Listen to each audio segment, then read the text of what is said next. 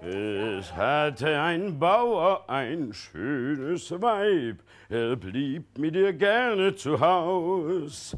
Sie hatten viel Spaß und zum Zeitvertreib zog er ihr die Stallstiefel aus. Dann warf er sich mit ihr ins Heu. Dann warf er sich mit ihr ins Heu, ins Heu. Dann warf er sich mit ihr ins Heu. Ja, wir, wir sind ja schon alle da. Einen schönen guten Abend, meine Damen und Herren. Es ist mir eine große Freude und Ehre, Sie hier bei uns in der Meulesmühle begrüßen zu dürfen. Wir haben. Ja, leck mich am Arsch. Wie siehst denn du aus? Na, ist ja egal. Hau ab, Menschenskind. Es ist mir gelungen, oder es ist uns gelungen, hochkarätige Künstler hier bei... Bist du eine Bauersmaid? Schau her, nimm mich zum Zeitvertreib. Jetzt hau endlich ab, Mensch. Da, ne.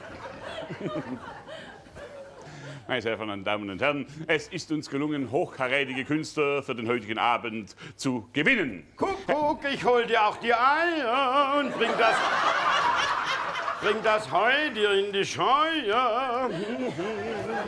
Guck, guck, guck. Da bleiben Sie guck. Heute bei uns hier zu Gast zuerst die Gscheidles. Das sind der Markus Neuweiler und die Birgit Pfeiffer. Und dann aus dem schönen Sauerland der Herr Fröhlich mit absurden Clownesken. Ja, und für die Landfrauen speziell von mir für Sie Herrn Stumpfes Zieh- und Zupfkapelle. Ja,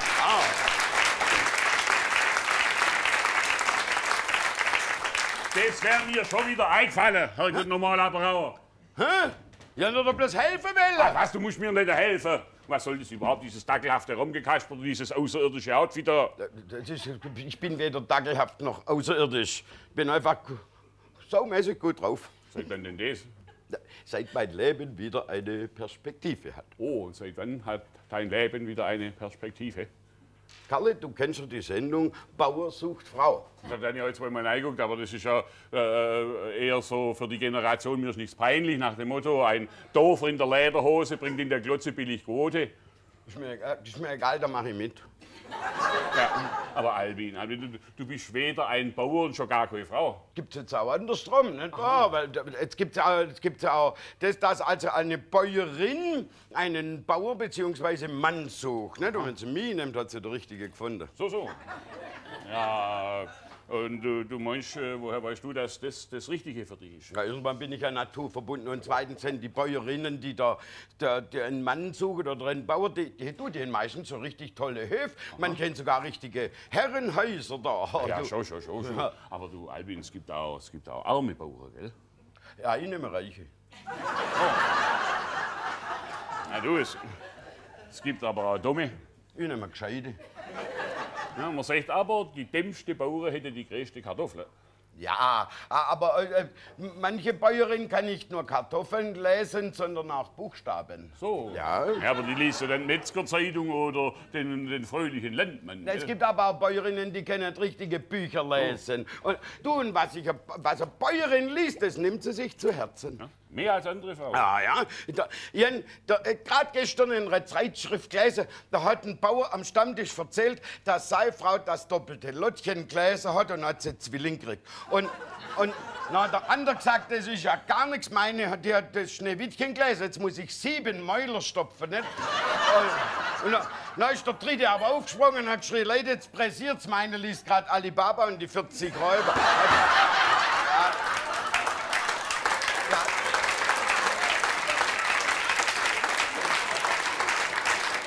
Und, äh, und das hast du in einer Zeitschrift gelesen? Ja, erst gestern. Ah, auf der letzten Seite. Ja, ich lese Zeitungen und Zeitschriften immer von Händen. Ra- Woher weißt jetzt du das? Mein Gott, weil es in der Regel immer die Witzseite ist, du Bachel. Ja, und das ist mir egal, über vieles wird wird gelacht und gespottet und trotzdem steckt in allem ein Körnchen Wahrheit. Das mit dem Spottet, das, war gut. Das, ist, das gibt mir nämlich eine elegante Überleitung zu unserer ersten Gäste. Ja. Jetzt bei uns, also mit einem wunderbaren Sketch über eine Sache, die also nur bei uns im Schwäbischen so richtig stattfindet, nämlich die Kehrwoche. Und da ist ja, ja, über nichts ist so viel gespottet worden wie über die Kehrwoche, nicht? Karle, das ist super. Da, da, da kurbel ich mal den Vorhang auf. Mach noch.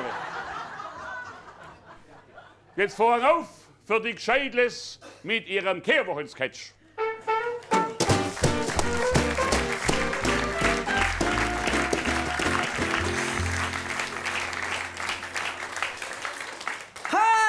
Etwas Herrliches in unserem Schwabenländle.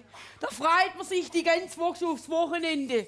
Auf der Samstag, auf der Kehrwochtag. Das ist ja bei uns im Schwabenländle ein angeschriebenes Gesetz. Aber jeder hält sich dran. und mein Mähle und ich, wir gehen auf alle Fälle so in Urlaub, dass wir samstags wieder daheim sind. Ja, ihr lacht, jetzt überlegt euch einmal. Tät womöglich jemand auf den Birkenblättern ausrutschen und sich der Haxen brechen. Wobei das ja gar nicht meine Birkenblättler sind. Ha ja, die sind nämlich von der Agathe und Bläden Birkenbaum dahieben. Wisst ihr was? Heit ich du mal dran. Grad zum Bossen.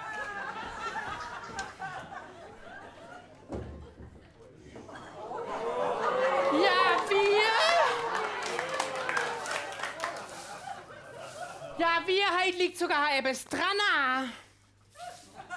Hat er das heute etwas dran liegt? Sonst muss ich immer bloß eine halbe Stunde im Kreis rumkehren, bis jeder auch gesehen hat, dass ich meine Kehrwoche gemacht habe. Aber das heute etwas dran liegt, wo es doch die Woche so ein starker Westwind gegeben hat, damit doch alles zur Elsbeth wäre.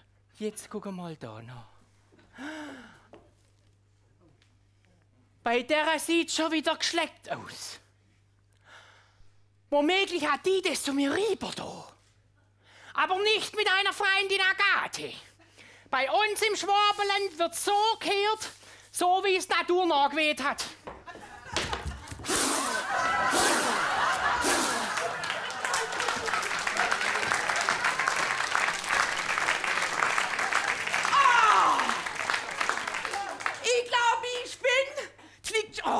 Schon wieder alles bei mir und der Jungen schlage ich auch noch in den Hals. Ne? Menschenskind, wenn ich den verwisch. Guten Morgen, Elsbeth. Ist gestern wieder Freitag gewesen, haben badet. Warum? Ah, das weiß doch im Pfleger jeder, dass ihr schon immer freitags badet und nicht samstags wie rechte Leute. Weil ihr noch das Badwasser abschöpfen könnt und am nächsten Tag mit Straßbohnen oder das Auto waschen könnt. Das ist doch ein saudummes Geschwätz. Die Neid ab die Kaugummiflecke von deinem Jungen habe ich weggerubelt. Die sind nicht von dem. Freilich, das sehe doch von meinem Küchenfenster aus. Der, der lieber etwas gescheit schaffen, hätte er gar keine Zeit, um bei mir auf dem Trottoir umeinander zu spucken. Der schafft doch etwas. Ja, was noch? Der ist Geistesarbeiter. Weißt nicht nur hier muss man's haben, auch hier. Der meditiert jetzt, aber das ist Top Secret. Was für ein Secret? Top Secret. Ähm, das ist britannisch, verstehst du? Also das heißt quasi geheim. Echt? Dann kannst du ja mir erzählen, hä? Ja, also was er bei dem Meditieren so genau macht, das kann er auch nicht sagen. Mir ist halt wichtig, dass er nicht dumm rumhockt und nichts tut, dann soll er lieber meditieren. Da hast recht. Dumm rumhocken, so wie unsere Männer. Wo bald L Abend in ihrer Stammtischbeiz hocken. So ist. Und Männergespräche führen. Wobei ja die Männer bloß zwei Themen haben. Sex und nackte Weiber. Ja, pfui Teufel. genau. Elsbeth, das weiß ich noch, wo ich meinen kennengelernt hab. Das war so ein herzensguter Mann. Der hat mir alleweil Blumen mitgebracht.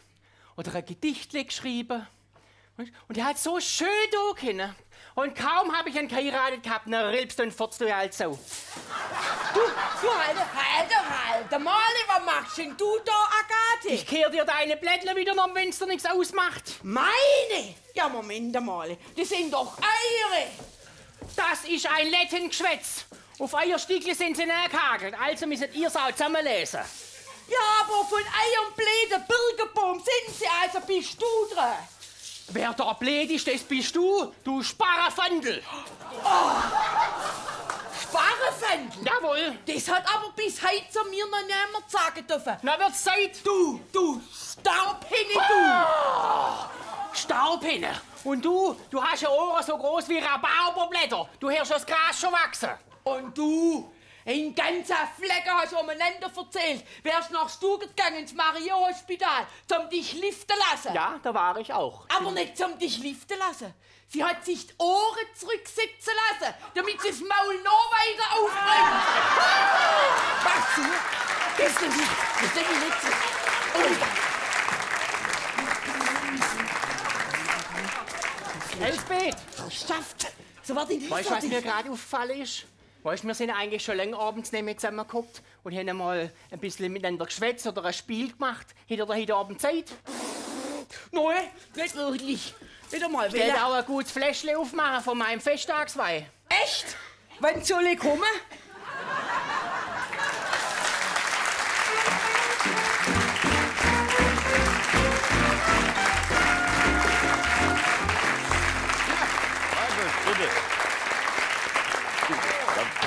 Ist jetzt eigentlich egal, welches Mädchen neben mir hockt oder wie? Da, Halt, das ist falsch. das ist verkehrt rum und ich hab gar nichts. Ich hab gar nichts gehört. Ich muss fahren. Ja, seit wann spielt ihr denn schon? Äh, seit wann kehren ihr zusammen? Also, Kehren. Seit wann Wir kehrt kehren ihr zusammen? 22 Jahre. kehrt ihr schon? Aber, das, Aber nicht privat. nicht neu. Nur auf der Bühne. Nein, nein, das So kann. Ripp kann ich daheim nicht brauchen. Ja, das kann ich. ja, was spielt denn unsere Stumpfes heute? Dumpfes. Ja. Die, die, die machen heute einen schwäbisch-pietistischen Antrag an eine Frau. Oh, Naja. Erlaube mir, feins Mädchen, in den Garten zu gehen. Als ich mag dort schauen, wie die Rosen so schön. Erlaube sie zu brechen, es ist die höchste Zeit. Ihre Schönheit, ihre Jugend hat mir mein Herz erfreut. Doch Mädchen, oh Mädchen, was muss ich da sehen? Was dir hängt im Gesichte, ist wahrlich nicht schön. Es ist Abuzawage, man kennt aus Agerrotz. Jetzt gang und putz dein Bagger, sonst kennst nur sein i Putz.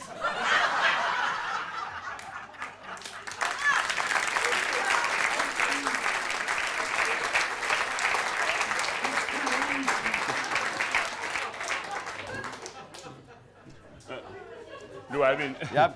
Wa- was ich dich vorher noch fragen will. Äh, So frage mein Freund, und es soll an einer Antwort nicht fehlen. Ich Schwester nicht so geschwollen daher. Mich deuchet, dies war keine Frage. Nein.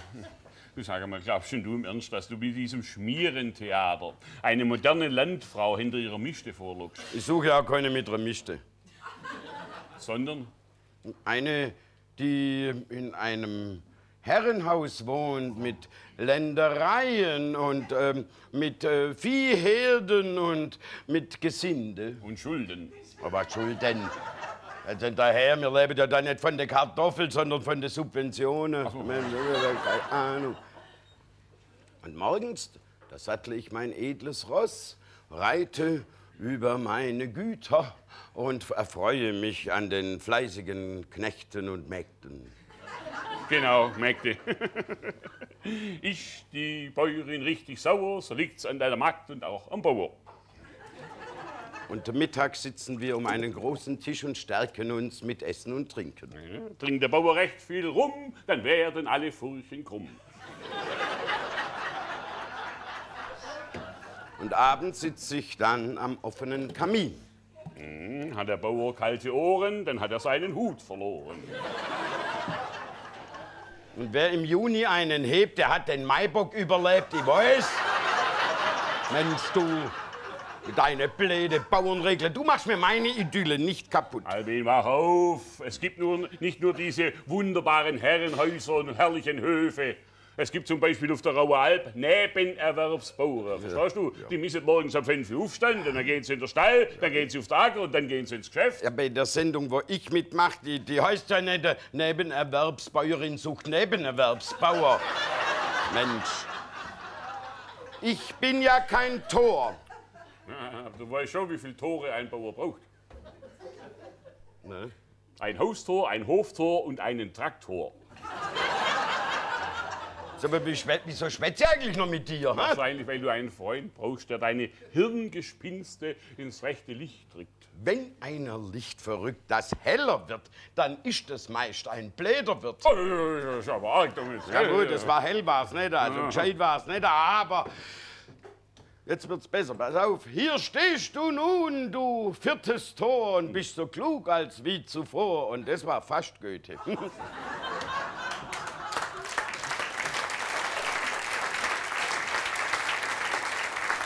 Also, der Künstler, wo jetzt kommt, das ist gewiss kein Tor, sondern ein Clown. Also, der hat einen sehr skurrilen Humor, also sehr schwer zu beschreiben. Das ist, am besten gucke ich den einfach einmal an. gell? Vorhang auf für Herr Fröhlich.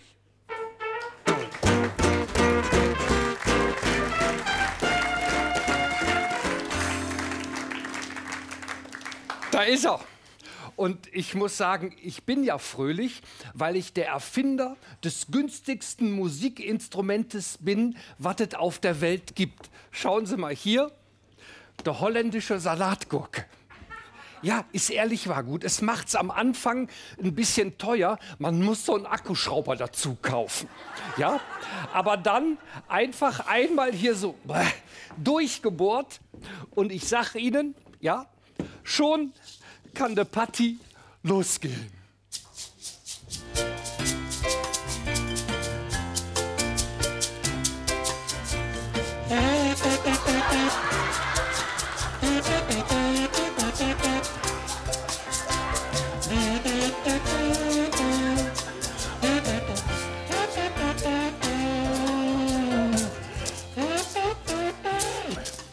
Die, ah, da, da, da, da, da. Ja. Wahnsinn. Ja. Ja.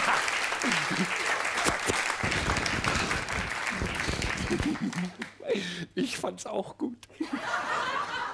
Ja, wobei sie damit natürlich wissen, dieser Programmteil steht unter dem Motto, wenn du die Harfe zupfst und das Horn tust tröten, dann klingt's, als ob die Engelchen flöten. Doch wenn du die Harfe trötest und zupfst das Horn, dann hast du deine Psychopharmaka verloren. Das, ja, sehr witzig, schön. Schön. Nee, wenn Sie jetzt noch mal gucken, das konnten Sie am Anfang nicht direkt so sehen. Was fällt Ihnen da auf? Erfolg macht sexy. Danke für das mitleidige Lachen. Hallo, ich könnte sie alle haben, wenn sie wollten. Also gut, das muss ich. Das muss ich dazu sagen. Da hatte ich zum Glück aber in der Zeit. Oh, Sie müssten sich jetzt gerade mal sehen. Sind Sie sehr schockiert? Das wird schon. Da hatte ich in der Zeitung gelesen, wenn du Erfolg bei den Frauen haben willst, mach Hausarbeiten. Hab ich hier mal diese Erotik-Wischmopflöte entwickelt.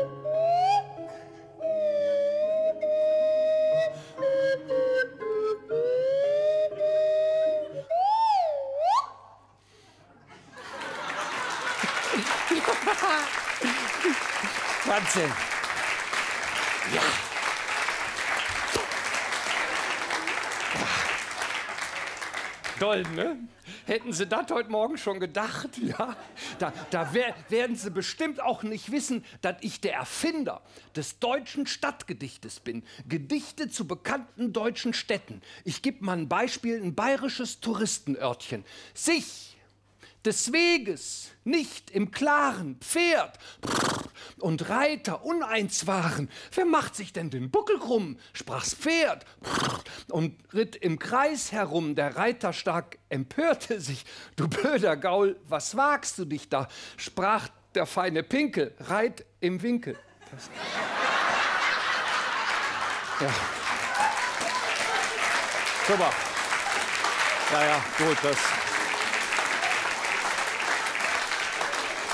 Des, deswegen sagt man ja, Leitkultur ein bisschen wehtun muss es schon. Ja, ja. Wo, wobei ich auch, ich habe auch mal eins hier zu der Region gemacht. Pass auf, der Schwab mag den Badenser nicht, denn wenn der einen Trinkspruch spricht, geschliffen in prosaisch Reim, dann sucht ihn meist ein Pforzheim. Das. ja, ja, das, ja. Das tat weh. Das tat mal richtig weh. Aber ich sage Ihnen, Sie wissen gar nicht, was Schmerzen sind. Weil da muss ich dazu sagen, da habe ich jetzt noch einen echten Kracher. Also ich sage Ihnen gleich, wer psychisch nicht in der Lage ist, verlässt jetzt besser hier die Kneipe. Ja, ich sage Ihnen, jetzt, jetzt mache ich Sie fertig.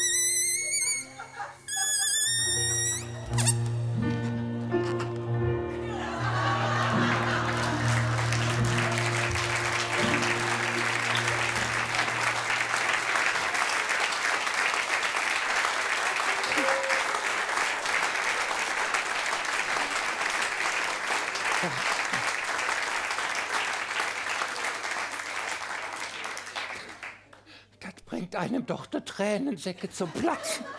Ja, und da werden sie mit Freude noch mein schönstes aller Stadtgedichte auch vernehmen, die schönste Stadt des Ostens. Es gibt ein seltsam Phänomen. Feinen Damen ist es sehr unangenehm, dass wenn du grad gepopelt hast und den Popel zwischen die Finger fasst, was machst du dann am ehesten? Oh, du Dresden! Ja. Ja. ja.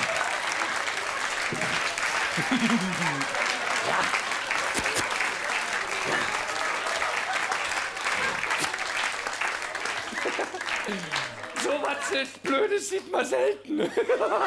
ja, wobei, da sie auch feststellen werden, ja, hab ich gleich gedacht, ist doch eher so ein südländischer Typ, der Fröhlich. Ja, Hallo, und das kann ich auch beweisen. Ich sag ja immer, was für den Schweizer das Alphorn, das ist ja für den Sauerländer de Schubkarre. Ja, ist wahr. Und da habe ich Ihnen mal hier jetzt noch mein schönstes aller Stimmungsinstrumente mitgebracht. Hier, ich zeige Ihnen gerade, wie funktioniert. Gucken Sie hier.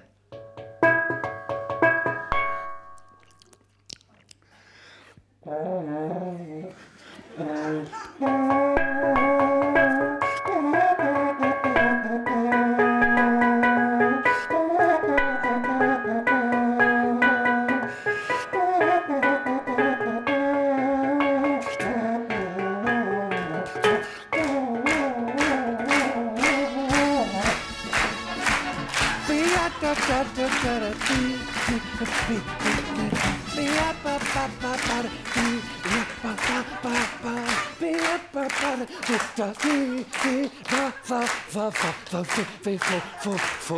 Herr, Herr, Herr Albin, ich bin fertig. Das,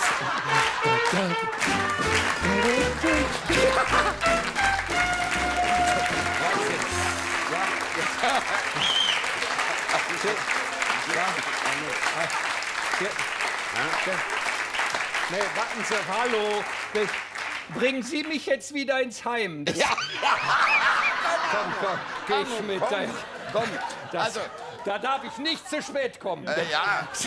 Ich hätte ja vorher schon gedacht, also wenn man so Sachen macht, muss man leicht aus einem Schießen lernen. Aber, also, weißt, Wollen Sie sagen, ich habe eine an der Waffel? nein, ja, Da kommen Sie mit einer Waffe gar nicht hin. Wollte ich nur gesagt Arno, haben. Arno, da geht's nicht um Waffel, sondern um Schießele. Das ist nicht so schlimm wie Waffel. Ich habe ja gar nicht behauptet, du hättest was an der Waffel, aber ich weiß, du bist aus dem Sauerland. Das ist schlimm nur. Aber an, andererseits ist ja auch gut, weil das ist ja nicht so dicht bevölkert. Und ich habe mir gerade überlegt, wie du das machst, wenn du probst. Also, da, du musst ja, also was sagt da deine Familie? Mein Gott, du bläust vor allem auf dem Schubkarren rum. Du musst, du musst, Das musst du mal du vorstellen. musst dir vorstellen, ich bin in den Baumarkt gegangen, habe gesagt, hör mal, ich hätte gerne eine Schubkarre. Dann hat er mich gefragt, wofür? Ja, das ist hoffentlich nicht Versteh? sagen. Nee, habe ich Ja, mich nicht getraut. Sie sehen übrigens auch bescheuert aus. laden Sie hier für Leute ein?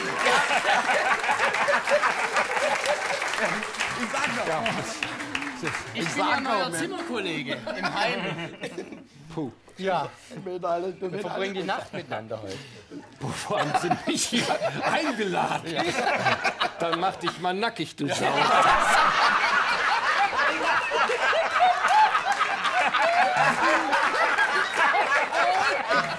Oh ja.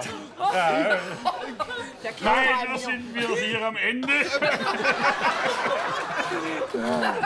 Ich reibe mir vergnügt die Hände, weil nun wird's in der Birne Licht. Ich komme jetzt zum Schlussgedicht, mit dem ich diesen Tag beschließe. Derweil ich meinen Durst begieße, der Albin sucht eine Bäuerin gar. Mit einem Hof so wunderbar, wo alles automatisch geht und man von Subventionen lebt. Lasst ihn nur weiter träumen und das nüchterne Erwachen kommt. Leck mich am Arsch und und bleibe bleibe gesund. gesund.